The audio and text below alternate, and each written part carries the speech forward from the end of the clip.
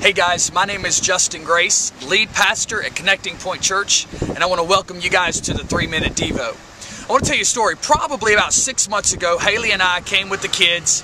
We showed up at College Station. We were checking out the city and praying about where God would want us to plant Connecting Point Church. We looked around. It was a it was a long day. We couldn't find a place to rent. The kids were frustrated, and and Hutch is hitting Maggie, and Maggie's crying because Hutch is looking at her, and it's just a frustrating time. So we pull into this gas station right here at the Chevron. We pull in and we pull up to get gas. We let the kids out, go to the bathroom, grab your snacks, and we come back to the van to pump the gas and I can't find the keys. And so I said, Haley, you got the keys? She doesn't have the keys. The doors are locked.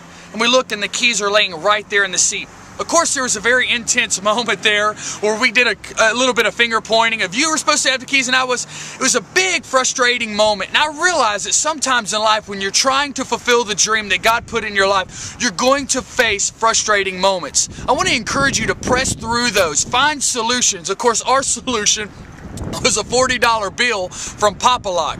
But what's really unique is this was a place, an intense moment while we were trying to fulfill the dream. But little did we know that less than two blocks away, we would be renting the house where we would meet people all over the city and begin the dream team of Connecting Point Church. The thought today is press through those frustrating moments in order to fulfill the dreams God has for your life. I love you guys.